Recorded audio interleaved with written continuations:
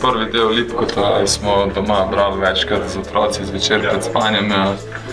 Zelo mi je bilo všeč knjigica, tako da se veselim drugega dela in pač prebiranja tega z otroci.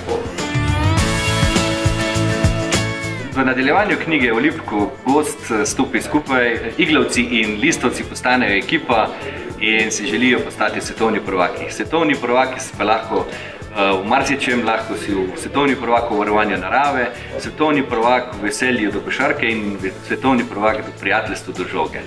Želim si, da bi se naši fanti uvrstili na olimpijske igre in potem bi bila trilogija o Lipku popolna.